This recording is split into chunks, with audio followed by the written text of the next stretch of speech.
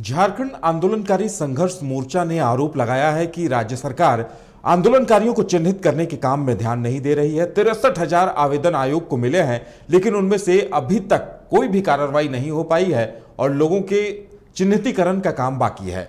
आयोग ने संघर्ष मोर्चा ने यह भी आरोप लगाया है कि खुद शिबू सोरेन का नाम गजट में अब तक शामिल नहीं है। उन्होंने कहा है कि सरकार को गंभीर होकर सबसे पहले शिबू सोरेन का नाम शामिल करना चाहिए और उसके साथ जिन पचास हज़ार लोगों का चिन्हितीकरण बाकी है, उन सभी के नामों को भी सूची में स्थान दिया जाना चाहिए। क्या कुछ कहा गया है? सुनाते हम आपको।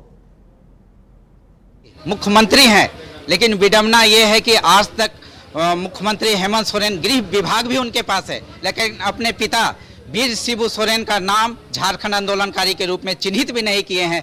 उनका नाम गजट में नहीं आना, ये झारखंड राज्य के लिए दुर्भाग्य की बात है।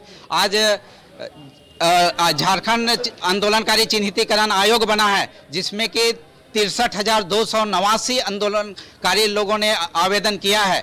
लेकिन आज भी करीबन पचास हज़ार से ऊपर लोगों का चिन्हितीकरण का काम स्थगित है नहीं हो सका है। आयोग गठन हुए अभी तीन महीना आठ दिन आज हो गया है। लेकिन आज तक एक भी आंदोलनकारियों का चिन्हितीकरण का ना, नाम प्रकाशित नहीं हुआ ना चिन्हितीकरण का कार्य आरंभ हुआ है।